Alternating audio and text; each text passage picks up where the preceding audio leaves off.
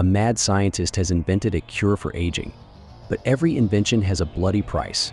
She kidnaps ordinary girls to extract genetic material from them. In an effort to combat aging, Dr. Isabel Rubin leads a select team toward groundbreaking medical advancements, attracting wealthy individuals eager for youth rejuvenation. Mia, married to the business owner, uncovers unsettling secrets about this so-called miracle treatment. A skilled horse rider, Mia shares a deep connection with her horse, Carrot. Yet she ponders over the freedom she might be denying it. One night, seeking closeness with her husband, Thomas, she finds herself rebuffed. Descending to check the mail, she finds a letter from Isabel, Thomas's partner, revealing a photograph with 14,000 imprinted on what appears to be human skin. The next day, Thomas views an interview with Isabel discussing Resurrecta, a procedure aimed at reversing aging, currently available to men due to their simpler biological makeup, but with hopes to extend it to women. The interviewer questions the treatment's ethics and effectiveness, but Isabel counters by framing aging as a disease needing a cure. Thomas reaches out to Isabel for a discussion about these revelations. During a run, Mia encounters Nika, the neighbor's nanny, in her charge. Isabel joins them, complimenting the baby and Nika's hair, accidentally entangling Nika's hair in her ring. In the process of untangling it, Isabel covertly takes strands of Nika's hair. Mia leads Dr. Isabel Rubin to their home, discussing her own excellent physical shape, when Thomas suddenly greets them at the door. He informs Isabel that their venture was meant to remain under wraps until they secured sufficient funding. Isabel counters, stressing the importance of being pioneers in this groundbreaking treatment, though Thomas points out that they're yet to move beyond phase one and are still in the trial phase. To sway him, Isabel presents before and after photos of a client, Peter, who has dramatically reversed in age, which astonishes Thomas. Isabel argues that the wealthy aren't concerned with regulations or approvals, suggesting that financial support would then be plentiful. However, Thomas, as the company's proprietor, emphasizes his authority, insisting that Isabel seeks his consent before proceeding with any plans, which she begrudgingly agrees to. Upon departing, Isabel compliments Mia on her beauty. Mia retorts that Isabel might as well relay her compliments to Thomas, hoping he'd be more receptive. Isabel subtly hints at how Mia could grab her husband's attention. That evening, Mia dresses up enticingly, successfully drawing Thomas's interest and seemingly setting things on the right track. However, the moment escalates quickly, only for Thomas to suddenly withdraw, leaving Mia confused and hurt. He confesses his inability to fulfill her desires due to his infertility, exacerbating Mia's frustration, prompting her to storm off. While heading home, Nika is unexpectedly knocked into by a stranger. She tries to continue on her way but soon collapses, unable to move.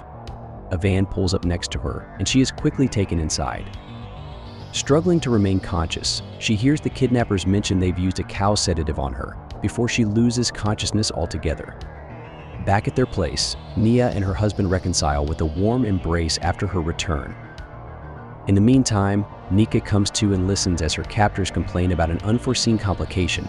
Seizing the opportunity, she manages to escape the van and conceals herself in some nearby bushes until the vehicle departs. The following day, Isabel greets a potential client, Johansson, eager for the secret to youth. She insists he sign a confidentiality agreement before sharing details about their revolutionary procedure.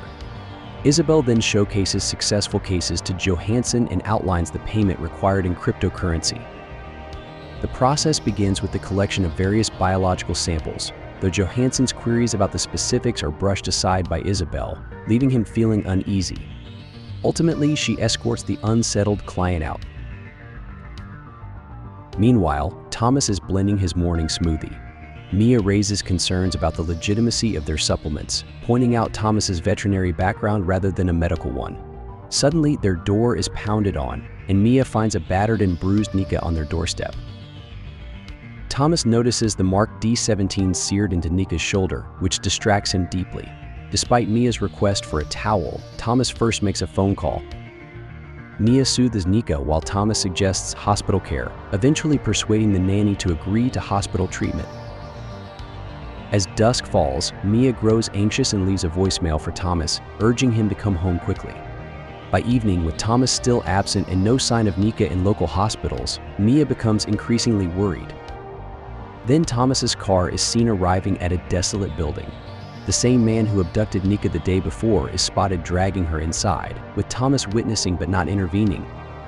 Mia, driven by worry, uses Thomas's computer to locate his phone and receives a text claiming Nika is in the hospital, which contradicts the location data. She then decides to drive out herself. Inside the building, Thomas seeks out Isabel to discuss Nika's rough handling by the so-called caretaker, referred to as Dog and his assistant, Pig. He mistakenly thought the women were volunteers, but Isabel brushes off the concern, mentioning it's only a temporary situation, to which Thomas responds with mild empathy. Isabel then diverts the conversation by showing him a photo of a woman named Ellie on her computer, ignoring his concerns. Seeing Ellie's photo, Thomas feels remorseful. Isabel then reassures him with a gentle touch and promises support. However, Thomas abruptly leaves amid Isabel's protests about not hindering their efforts. As he departs, Mia arrives and starts exploring a rundown building, narrowly escaping injury when part of the floor gives way. She continues her search and stumbles upon the supplements marketed by her husband's business. Following the sound of weeping, Mia encounters a woman being subjected to electric shocks by Dog, while Pig ambushes her. After a brief struggle, Mia attempts to flee but is caught off balance and knocked unconscious by Dog. When Mia comes to, she's being hauled to a locked room by Dog. Meanwhile, Thomas realizes Mia has uncovered his location and informs Isabel, who confirms Mia's capture. Thomas then rushes back to the site. Dog demands Mia to change her attire under his watch, Despite her initial defiance, she reluctantly complies under duress. Seizing an opportunity, Mia tries to escape as the door opens but is quickly recaptured by Dog, who restrains her, silences her with duct tape, and draws her blood. He brands her shoulder with the Mark 34A, then callously treats the burn in a demeaning manner, causing Mia immense agony. Upon returning, Thomas searches for Mia and can confronts Dog, insisting she's different from the others. Dog coldly suggests that upcoming tests will reveal the truth. Isabel instructs over the phone to let Thomas spend five minutes with Mia. During their brief encounter, Mia initially shows anger towards Thomas but quickly becomes emotional. Thomas, instead of rescuing her, cautions Mia against attempting to flee by herself, warning of potential danger but assures her of a future rescue. He leaves and Mia is left crying. Isabel then confronts Thomas in the corridor, sternly advising him against meddling and threatening Mia's safety. She takes his phone and orders him to stay within the facility. Meanwhile, searches her surroundings for anything that might aid her escape. An alarm interrupts her as Nika is seen attempting to flee, eventually finding Mia and seeking her assistance. However, Pig abruptly ends Nika's escape with a brutal attack, and both caretakers proceed to clean the area nonchalantly, leaving Mia horrified. Isabel reconnects with Johansson, who, after witnessing the transformation of another, eagerly agrees to the enhanced price for the treatment, now 50% higher. Isabel continues her experiments, cautioning Dog against inappropriate conduct towards the subjects, emphasizing Mia's importance. In the meantime, Thomas manages to open Mia's door after several tries, reuniting with her. Remembering the photograph labeled 14,000 Mia inquires about her identity to Thomas, Thomas reveals that Ellie is a woman he encountered six months prior at a gathering he and Isabel were at. Isabel introduced Ellie to him as his kind of person. Thomas recalls the night as a haze, with Ellie expressing a desire to be restrained. The next memory he has is of finding Ellie unresponsive on the bed, with Isabel confirming her demise. Mia realizes the depth of her predicament, tied to the secrets between Isabel and Thomas. Following this, Thomas retreats to his own space, leaving Mia by herself. Shortly after, Isabel contacts Thomas to exhibit the latest advancement at their facility, a biobag designed for growing embryos using purchased ovaries. She mentions ongoing issues, but suggests they can be resolved with the addition of the client's DNA. Thomas makes a dark joke about Isabel's potential longevity, to which she replies, hinting at the struggle to find a compatible partner. Isabel then persuasively reminds Thomas of their financial ambitions. Thomas forcibly takes Mia to meet Isabel Dog and Pig, stating that she's become a liability. Overwhelmed by emotion, Mia cries as Thomas agrees to Isabel's directive. A brief dispute arises over who should handle Mia, with Thomas insisting on taking the responsibility himself. He then feigns an attack on Mia, using it as a ruse to facilitate her escape. As they attempt to flee, the caretakers give chase. Thomas tries to hold them off but is overpowered by Pig and knocked out, while Dog continues the pursuit.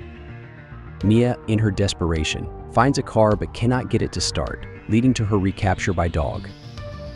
Pig tells Isabel they've found a DNA match in Mia, leading Dog to halt his plans to get rid of her. Instead, Pig takes Mia for the procedure, where she's knocked out and later finds herself strapped to a surgery table. Isabel checks Mia's ovaries for a viable egg, proceeding to fertilize it with a client's sperm, visibly pleased with the outcome.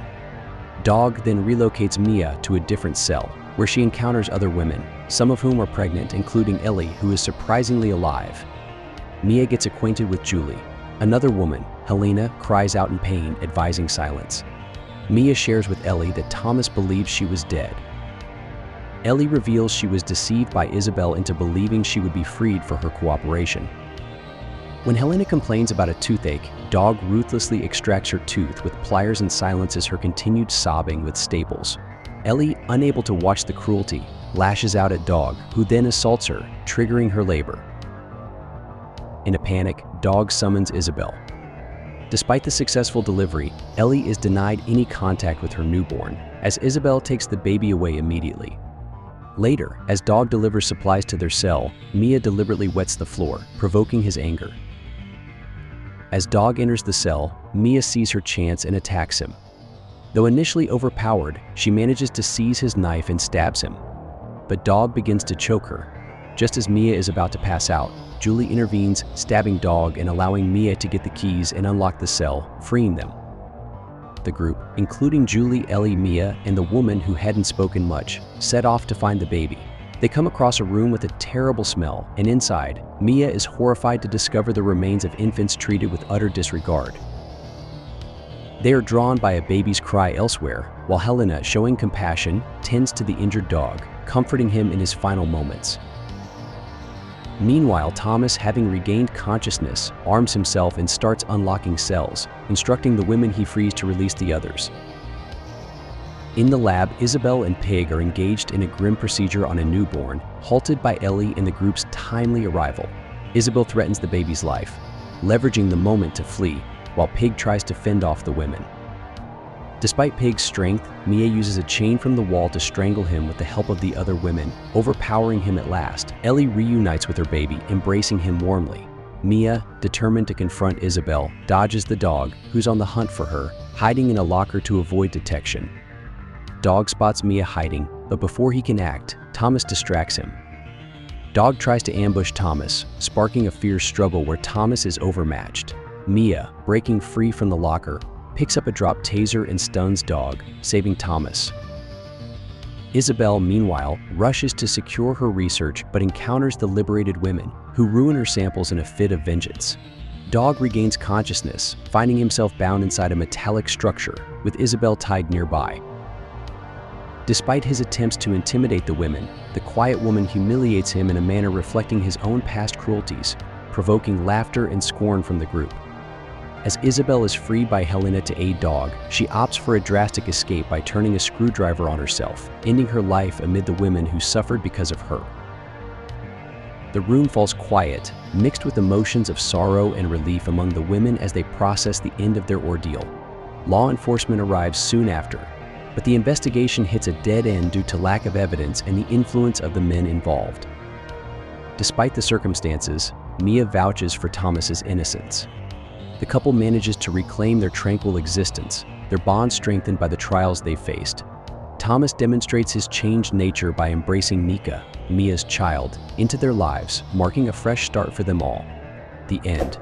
Thank you for watching. Be sure to like our channel and subscribe if you enjoy content like this. Also, let us know what movie you would love us to recap for you.